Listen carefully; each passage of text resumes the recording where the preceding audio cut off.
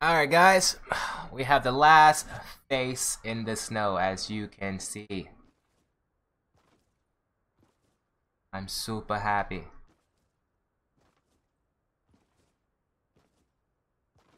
Alright, on to it. It's between Lucky Landing and Happy Hamlet.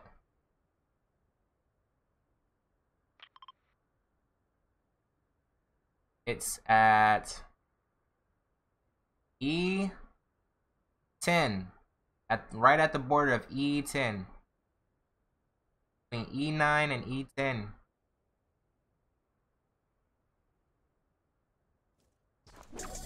Y'all see that face, right?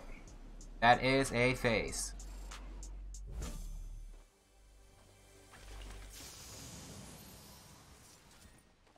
Alright guys, thank you for tuning in.